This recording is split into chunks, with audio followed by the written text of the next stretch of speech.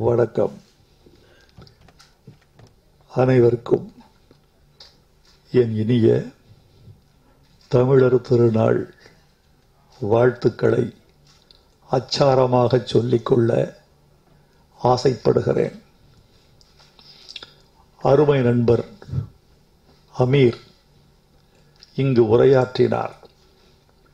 ஓர் இயக்குனரைப் போல அல்ல ஓர் ஆய்வாளனாக மண்ணின் பற்றாளனாக இன அறிவு உள்ளவராக சமூக அக்கறை மிக்கவராக கலையின் கோட்பாடு தெரிந்தவராக அவர் இங்கு உரையாற்றியதை நான் என் செவியெல்லாம் கண்ணாக கவனித்து கொண்டே இருந்தேன். இப்படிப்பட்ட இயக்குனர்கள் தங்கள் லட்சியங்களை மாற்றிக்கொள்ளாமல் தொடர்ந்து தமிழுக்கு கிடைத்தால் தமிழ் திரைக்கலையை இந்திய அளவுக்கு விரிவு செய்யவும் இந்திய திரைக்கலையை உலக அளவுக்கு செறிவு செய்யவும் இயலும் என்ற நம்பிக்கையை அமீரின் வார்த்தைகளில் நான் பெற்றேன். இந்த சந்தனத்தேவன் என்ற கதையை அவர் என்னிடம் விளக்கினார். ஒரு நாற்பது நிமிடங்கள் அந்த கதையை நான் செவியுற்றேன். இயக்குனர்கள் கதை சொல்ல வந்தால் அவர்களுக்கு நான் விடுக்கிற வேண்டுகோள் ஒன்று உண்டு. எந்த நல்ல கதையும் பத்து நிமிடங்களுக்கு மேல் சொல்லப்படக்கூடாது.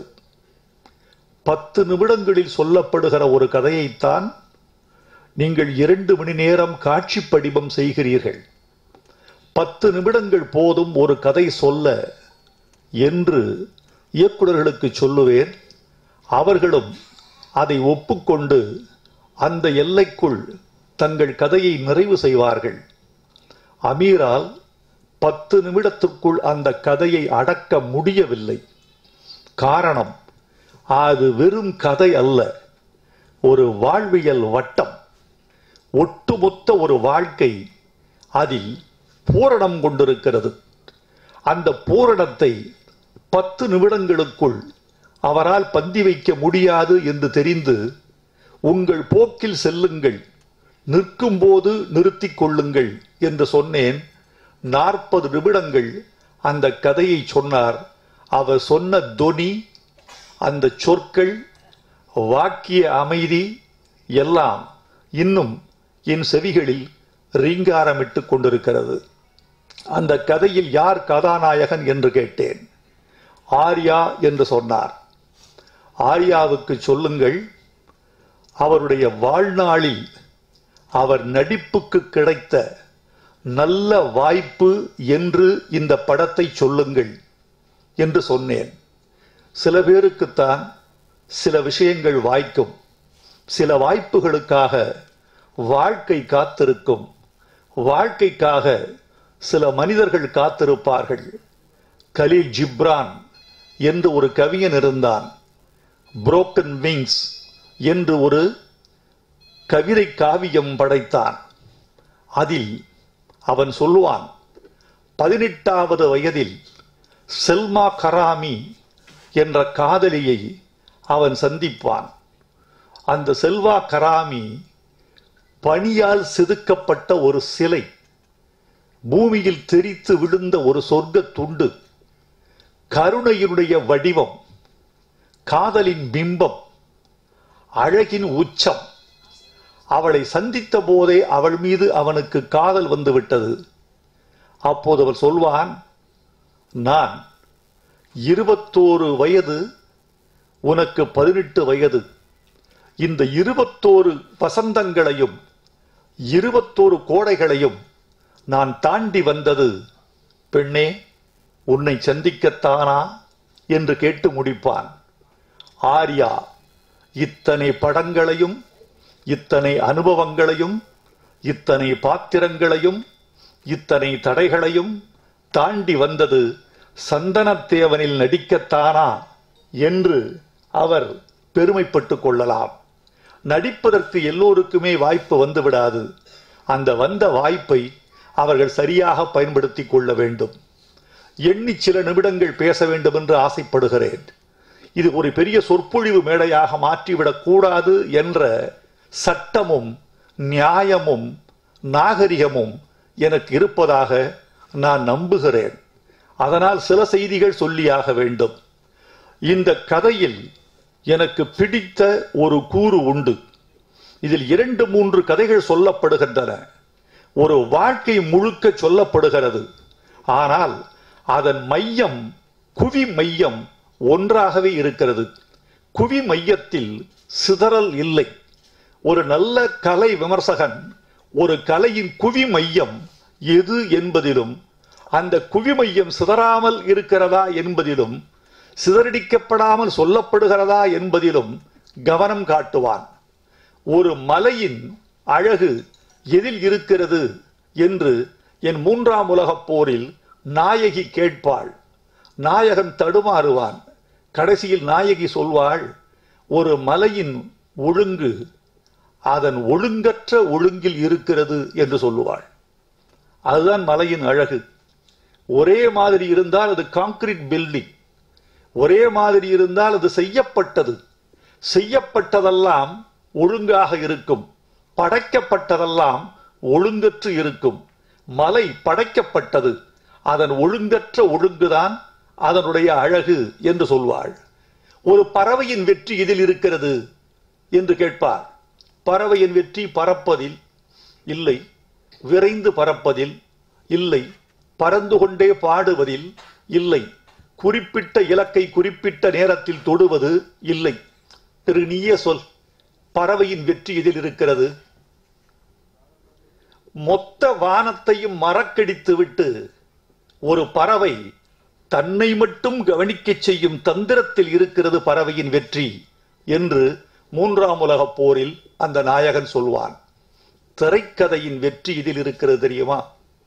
ஒரு சினிமாவின் வெற்றி திரைக்கதையில் இருக்கிறது. எந்த ஒரு விஷயத்தையும் நியாயப்படுத்துவதும் எந்த ஒரு விஷயத்தையும் அநியாயப்படுத்துவதும் திரைக்கதைதான். மிக மிக மோசமான ஒரு உள்ளடக்கத்தை மிக மிக நல்ல திரைக்கதை நியாயப்படுத்திவிடும். மிக மிக நல்ல மூலக்கதையை மிக மிக மோசமான ஒரு திரைக்கதை சிதைத்து விட முடியும்.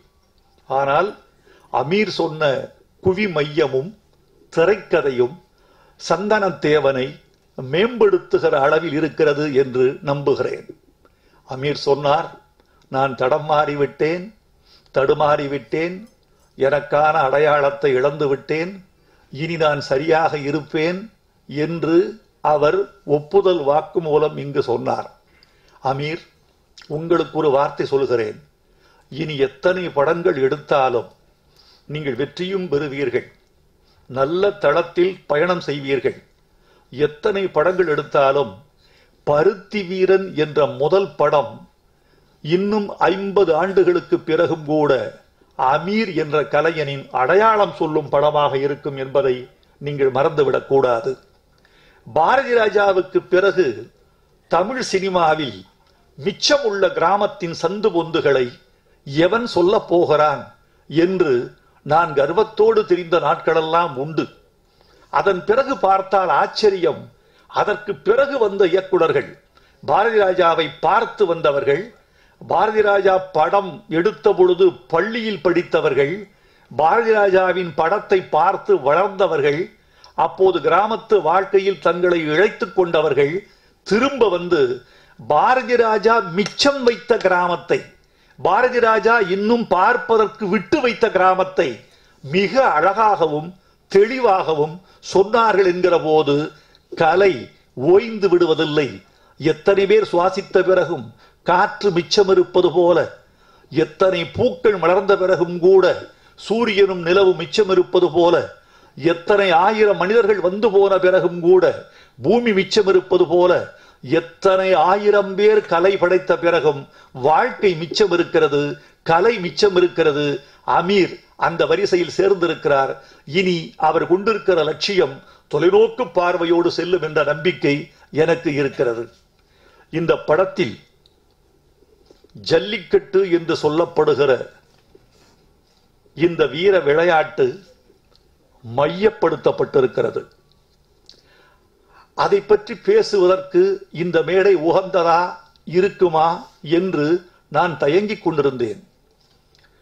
என்னுடைய வாய்ப்பை நான் பிறழப் பயன்படுத்துவது ஒரு மனிதனின் சந்திப்பை பிறழ்ச்சியாக பயன்படுத்துவது ஒரு பெண்ணை சந்திக்கிற போது அவள் கண்ணியம் கடந்து உரையாடுவது ஒரு மேடையில் தன் எல்லையை தாண்டி நகர்ந்து பேசுவது என்பதெல்லாம் ஒரு பக்குவப்பட்டவனின் அடையாளங்கள் அல்ல என்று நம்பக்கூடியவர்களில் நானும் ஒருவன்.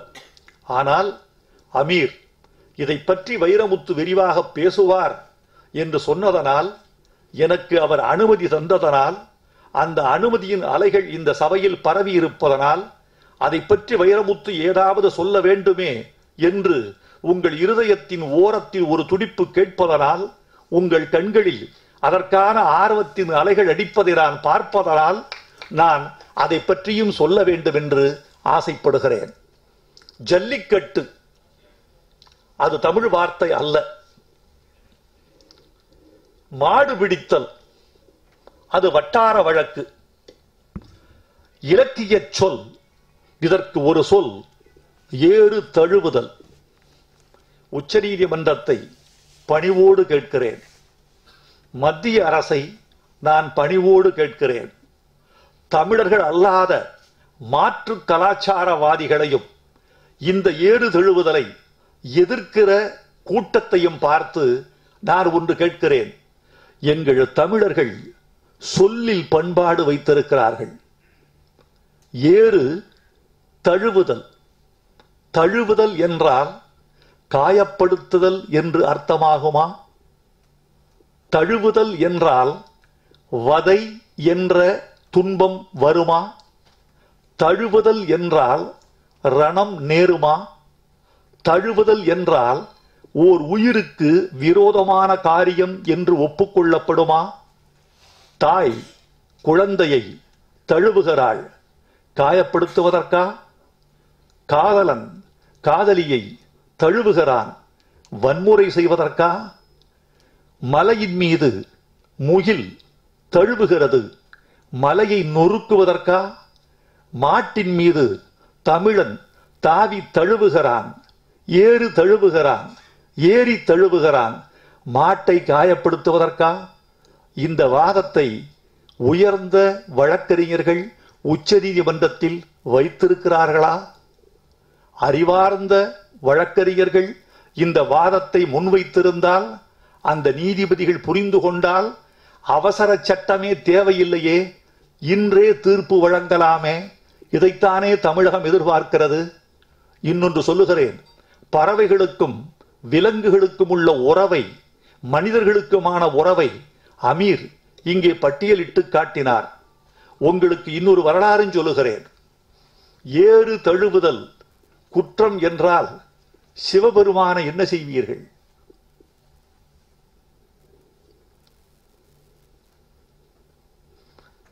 அங்கே ஒருவர் மட்டும் வரலாற்று புன்னகை புரிகிறார். அவருக்கு மட்டும் புரிகிறது வைரமுத்து விவகாரமாக பேசுகிறானே என்று. நான்கு யுகங்களை தாண்டி மனிதன் வந்திருக்கிறான். ஒன்று வேட்டை யுகம். இன்னொன்று வேளாண்மை யுகம். மூன்றாவது தொழில் யுகம் நான்காவது கல்வி யுகம் இந்த தொழில்நுட்ப யுகம். இந்த நான்காவது யுகத்திலும் கூட இன்னும் அழிந்து போகாத எச்சங்களை உடைய யுகம் வேளாண்மை யுகம். வேளாண்மை தோன்றி வெறும் பத்தாயிரம் ஆண்டுகள் தான் ஆயின. பத்தாயிரம் ஆண்டுகள் ஓ பத்தாயிரம் ஆண்டுகள் என்பது காலப்பெருங்கடலில் ஒரு பத்து துளிகள் அவ்வளவுதான். இந்த பத்தாயிரம் ஆண்டுகளுக்கு முன்னால் மனிதன் வேட்டையாடி கொண்டிருந்தான். வேட்டையாடுகிற வரைக்கும் அவனுக்கு நிலம் சொந்தமில்லை. வேட்டையாடுகிற வரைக்கும் அவனுக்கு குடியிருப்பு இல்லை. உணவை தேடி அவன் அலைந்தான். அது வேட்டை கலாச்சாரம். சலித்து போனான். வேட்டையில் அவனும் பலியானான். இடங்களை இழந்தான். நிலங்களை துறந்தான். இல்லமில்லாமல் அலைந்தான். ஆனால் உணவு கிடைக்கவில்லை. வேட்டையாடி தீர்த்த காடுகள் நிறைய வந்து விட்டன. விலங்குகள் வெளியேறிவிட்டன ஒருவனுக்கு தோன்றியது ஒரு சிந்தனை. உணவை தேடி நாம் போவதற்கு பதிலாக நம்மை தேடி உணவு வந்தால் என்ன என்று ஒரு மனிதன் சிந்தித்தான். அந்த சிந்தனையின் விளைச்சல் தான் வேளாண்மை. நம்மை தேடி உணவு வர வேண்டும். அப்படி நம்மை தேடி உணவு வர வேண்டும் என்றால் நதிக்கரை ஓரம் வேண்டும். மனிதர்கள் மட்டும் அதற்கு பயன்பட மாட்டார்கள். விலங்குகளின் துணை வேண்டும். மாட்டை வசக்கி ஏரில் பூட்டினாள் சிவபெருமான் என்பவன் சிவன் கடவுள் என்பதெல்லாம் இந்து மதத்தின் நம்பிக்கைகள். ஆனால் மானிடவியல் வரலாற்றின்படி நான் உணர்ந்து கொண்ட விஷயம் ஒன்று உண்டு. எவன் ஒருவன் காட்டு மாட்டை வசக்கி தன் வசப்படுத்தி ஏரில் பூட்டி அதில் சவாரி செய்தானோ அவனுக்கு பெயர் சிவபெருமான் என்று மனித இனம் நம் தமிழ் இனம் வழங்கியது. அவன்தான் மாட்டை வசக்கி முதலில் ஏரில் பூட்டியவன் அதில் சவாரி செய்தவன். அதனால் அந்த மாட்டையே அவனுக்கு விடையேறிய பெருமானாக அவனுக்கு அந்த மாட்டையே வாகனமாக தமிழ் இனம் வழங்கி அழகு பார்த்தது. ஈபிகோவின் சட்டத்தின்படி மாட்டை வசக்கி பூட்டியவன் சிவபெருமான் என்றால் எந்த விதியின் கீழ் சிவபெருமானை கைது செய்வீர்கள்? முடியாது. இது மனிதவியல் வரலாறு. இன்னொன்று மாட்டில் மாட்டில் மனிதன் காயமுறுகிறான். மா மனிதர்களால் மாடுகள் காயமுறுவதில்லை. ஒரு கேள்வி கேட்கிறேன். மிக முக்கியமான கேள்வி. இந்த கேள்விக்கு தமிழகமும் அறிவுலகமும் உச்சநீதிமன்றமும் பதில் சொல்ல வேண்டும். அவர்கள் சொல்கிறார்கள் மாடு காயமுறுகிறது. இல்லை. நாங்கள் மாட்டை காயப்படுத்துவதில்லை. ஜல்லிக்கட்டு காளைக்குத்தான் எங்கள் வீடுகளில் முதல் மரியாதை.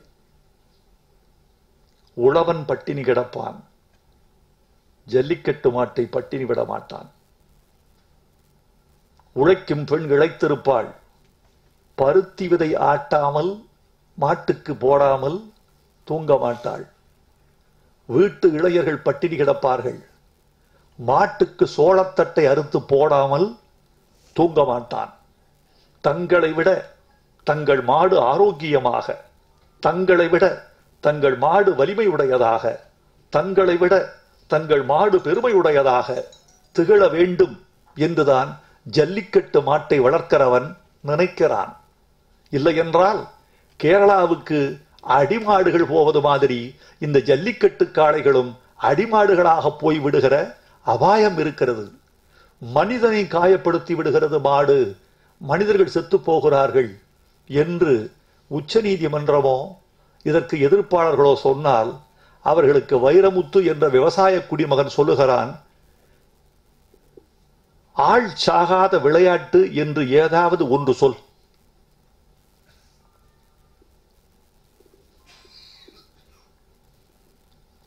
விபத்து இல்லாத வாழ்வு உண்டா? மாடு பிடித்து பிழைத்தவனும் உண்டு கல் தடுக்கி செத்தவனும் உண்டு. பசும்பொன் தேவர் பெருமான் ஒரு முறை சொன்னார் பாம்பு கடித்து பிழைத்தவனும் உண்டு செருப்பு கடித்து செத்தவனும் உண்டு. இப்போது கேட்கிற கேள்வி மிக முக்கியமான கேள்வி. கடந்த வாரம் தூத்துக்குடியில் ஒரு பள்ளி மாணவி அவள் பெயர் மாரீஸ்வரி குத்துச்சண்டைக்கு போனால் அந்த இளங்கொழுந்து அந்த பெண்ணை பார்த்தாலே பரிதாபமாக இருந்தது. பன்னிரண்டு முதல் பதினான்கு வயதுக்குள் தான் அந்த பெண்ணுக்கு வயது இருக்கும். இளம் கொழுந்து குத்துச்சண்டைக்கு போனாள். குத்துச்சண்டையில் வெற்றி பெற்று இந்த பயிற்சி பெற்று தானும் குத்துச்சண்டை வீராங்கனை ஆகலாம் என்று போனாள். வெயிலில் அந்த பயிற்சி நடந்தது. குத்துச்சண்டை பயிற்சி பெற்றாள். பெற்ற பிறகு ஒரு ஓரமாய் போய் ஒதுங்கி நின்றாள். நெஞ்சு லேசாக வலிக்கிறது என்றாள். மருத்துவமனைக்கு கொண்டு சென்றார்கள். சோதித்த மருத்துவர்கள் பாதி வெளியிலேயே இந்த இளஞ்சிறுமி இறந்து விட்டாள் என்று மருத்துவ அறிக்கை தந்தார்கள். நான் கேட்கிறேன் உலக குத்துச்சண்டையை ரத்து செய்து விடலாமா? கிரிக்கெட் பந்து பட்டு வீழ்ந்தவன் இல்லையா? நீச்சல் போட்டியில் செத்தவன் இல்லையா? ஒரு சமுதாயம் இறுகி கிடக்கிறது இறுகி கிடக்கிற சமுதாயம் கொண்டாட்டங்களை உற்பத்தி செய்து கொள்கிறது. பொங்கல் ஒரு கொண்டாட்டம். திருமணம் ஒரு கொண்டாட்டம் காதுகுத்து ஒரு கொண்டாட்டம் பூப்பெய்து விழா ஒரு கொண்டாட்டம். கொண்டாட்டங்கள் இல்லை என்றால் மனிதர்கள் நிறுத்து போவார்கள். இந்த கொண்டாட்டங்களை உண்டாக்கியதே மனித கூட்டத்தை ஒன்று சேர்க்கத்தான். இந்த கொண்டாட்டங்கள் இருப்பதே மனித வாழ்வை ருசி சேர்க்கத்தான். எனவே இந்த கொண்டாட்டங்கள் தமிழர்களின் பரம்பரை அடையாளங்கள். எங்கள் மன எழுச்சிகள் எங்களை நாங்களே புதுப்பித்துக் கொள்ள எங்கள் இருதயத்தை ஒட்டடையடித்துக் கொள்ள எங்கள் கைகால்களை வந்து நாங்கள் உற்சாகமாக அசைத்துக் கொள்ள எங்கள் உடம்பை நாங்களே சோதித்துக் கொள்ள. ஒரு விஷயம் சொல்லட்டுமா? உங்க உடம்புக்கு டெஸ்ட் வச்சிருக்கிற நீங்க? உங்க உடம்புக்கு டெஸ்ட் ஒன்று உண்டு. நின்று கொண்டு உங்கள் குளிக்கிற போது உங்கள் எல்லா உறுப்பையும் உட்கார்ந்து கொள்ளாமல் நின்று கொண்டே தேய்க்கிற வரைக்கும் நீங்கள் ஆரோக்கியமாக இருக்கிறீர்கள். படுக்கையில் படுக்கிற பொழுது உங்களுக்கு வசப்பட்ட வசதியில் திரும்பி படுக்கிற வரைக்கும் உங்கள் உடம்பு ஆரோக்கியமாக இருக்கிறது. மாடு பிடிக்கிற வரைக்கும் எங்கள் இளைஞன் ஆரோக்கியமாக இருக்கிறான். அவன் தன்னை தானே நான் எதையும் சாதிக்க முடியும் என்ற நம்பிக்கை பெறுகிறான். நான் திருமணம் செய்து கொள்ளலாம் நான் நிலம் வாங்கலாம் நான் உழலாம் நான் தனிவெளி பயணப்படலாம் எந்த சுடுகாட்டையும் கடந்து போகலாம் எவன் வந்து எதிர்த்தாலும் யாரடா நீ என்று எதிர்த்து போராடலாம் என்ற உறுதியை பெறுகிறான். அந்த உறுதியின் மீது கை வைப்பதற்கு யாருக்கும் அதிகாரம் இல்லை. இந்திய இறையாண்மை இதை அனுமதிக்க வேண்டும். உச்ச நீதிமன்றம் இதற்கு எதிரான தீர்ப்பு வழங்கினால் கூட தமிழர்கள் அதை விட்டுக் கொடுக்க மாட்டார்கள் என்ற உறுதியை நான் இந்த மன்றத்துக்கு தெரிவித்துக் கொள்ள ஆசைப்படுகிறேன். என் தம்பி யுவன் சங்கர் ராஜா இந்த படத்துக்கு இசையமைத்திருக்கிறார். அவர் மாறிவிட்டார் என்று சொன்னார். ம். மதம் மாறிவிட்டார் அதை சொல்லவில்லை. அது அவர் தனிப்பட்ட உரிமை. ஒவ்வொரு மதமும் ஒரு வாழ்க்கை முறை. அது அவர் உரிமை. மாறிவிட்டார் என்று அமீர் எதை சொன்னார் என்றால் முன்பெல்லாம் நாங்கள் தொலைபேசியில் அழைத்தால் காலையில் அழைத்தால் நாளைதான் எடுப்பார் இன்றைக்கு அப்போதே எடுக்கிறார் என்று அவர் சொன்னார். முந்தியெல்லாம் ஒரு மெட்டு தருமதுரைக்கு தர்மதுரைக்கு நானும் ஒரு வேலை பார்த்தோம். சீனிராமசாமி கிட்ட வந்து சொன்னார் சார் ரொம்ப கஷ்டமா இருக்கு யுவன்கிட்ட டியூன் வர்றதுக்கு. என்ன பண்ண தெரியல அவசரமா ஷூட்டிங் போனோம் நான் யுவனை அழைத்தேன். யுவன் உன் திறமை உனக்கு தெரியும் இல்லை நானும் உங்கள் அப்பாவும் வேலை செஞ்ச போதுப்பா. உங்கள் அப்பாவை இன்னைக்கு வரைக்கும் நான் எதுக்கு வியர்க்கிறேன்னு தெரியுமா?